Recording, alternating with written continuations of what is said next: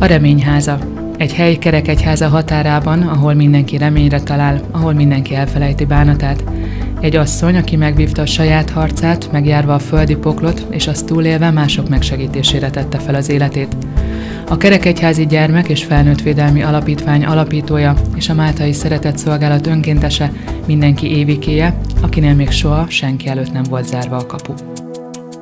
Az évike nekünk nagyon-nagyon sokat jelent. Ide, ha kijövünk, akkor mi lehet mondani azt, hogy elfelejtjük a betegségünket. Ez olyan, amikor ide is kijövünk, olyan meghitt, olyan, olyan ünnepélyes, és akkor ez az én lányom, ez ilyen nehezen barátkozó, és amikor azt mondja, hogy anya, én a rajtad kívül, meg a testvéreimen kívül, én az évikét szeretem a legjobban. Azért ez egy ilyen, nagyon sokat jelent, és, és örömmel jön ide, még máshova nem akar elmenni. Azt hiszi, hogy ő, ő nem csinál szinte különleges dolgokat, viszont azt mi látjuk, hogy csinál különleges dolgokat.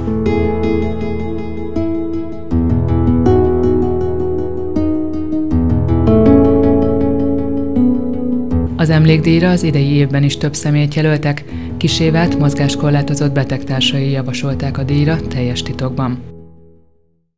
Egy kézzel írott levelet kaptam, ami mostanság azért ritkaság ahogy elolvastam a levelet, rögtön megéreztem mögötte azt az embert, akit én keresek erre a díjra. Most kerekegyházán vagyunk, és ahogy megismerkedtünk személyesen is, én úgy érzem, hogy ismét megtaláltam a, a megfelelő példaértékű embert. Kis Éva, ahogy mindenki emlegeti Évike, férjével Nándival néhány évvel ezelőtt hozta létre a Reményházát. A telken, ahol a kis épület áll, Éva első férje szeretett volna létrehozni egy farmot.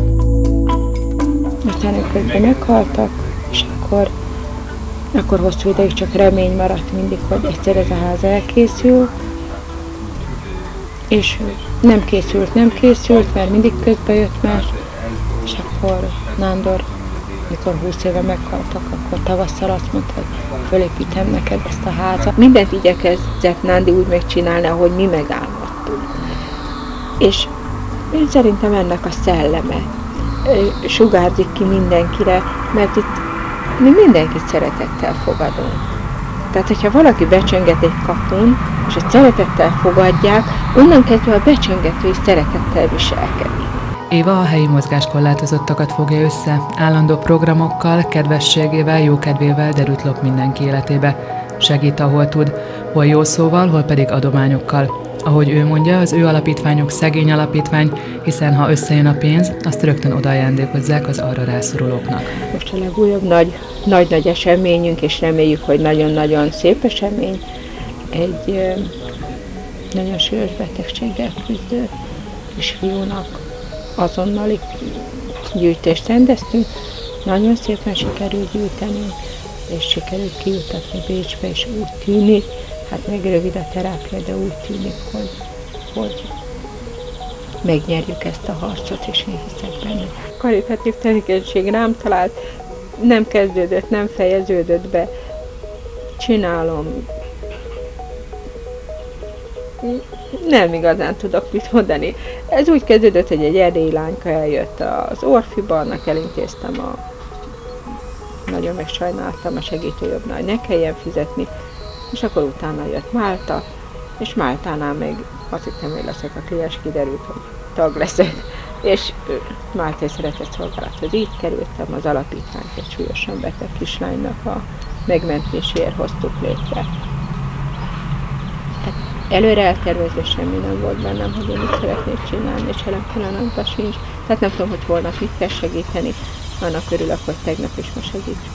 Úgy gondolom, hogy maximálisan példaértékű az, az, amit csinál, ahogy az embereken segít. Ezek az emberek tehát ilyen mozgáskorlátozottak, fogyatékkal élők, és egy fantasztikus pluszt egy, egy otthont, reményt tud nyújtani nekik ezzel a tevékenységével. Nem, nem segítségnek élem meg. Természetesen. ez nem igazán segítség ez, hanem, mint ahogy mondtam, egy jó szó, egy simogatás, egy odafigyelés. Mindezt pedig teszi olyan természetességgel és jókedvel, amely sokak számára szinte felfoghatatlan, pedig őt is megtépázta az élet. 24 évvel ezelőtt egy perc alatt veszítette el mindent, ami az élete volt. Két gyönyörű gyereket és egy szerető férjet. Akkor én tudatomra eszméltem, és én végig az egész balesetre teljesen kristálytisztán emlékszem, abban a pillanatban eldöntöttem, hogy nincs élet, és nem akarok élni. Az emberben van egy szeretet, ami bent ragad. Tehát egy, egy nagyon furcsa dolog, hogy adnám, és nincs kinek.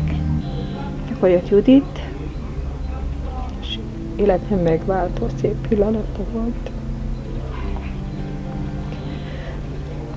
Újra volt gyerekem, és volt ki élni.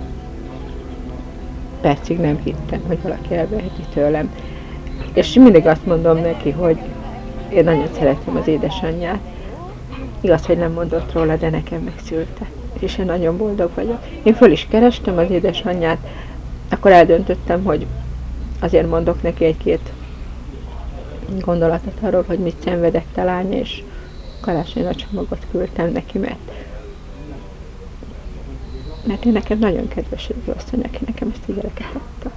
Én nagyon szeretem, és sokat köszönhetek neki, mert azért 23 éve, hogy ő nevel, és sose tett különbséget az Evelyn meg én köztem, úgyhogy én csak a jókat tudom. A sors azonban tartogatott még egy esélyt az életre.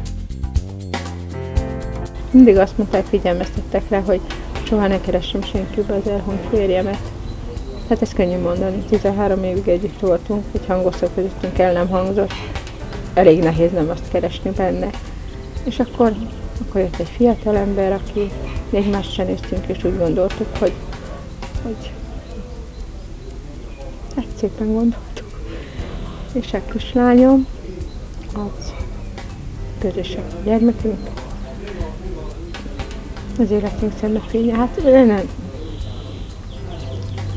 Rájuk nézek, és akkor, akkor tudom, hogy akkor kell élnem. És szépen kell élnem, mosolyogva és boldognak lenni.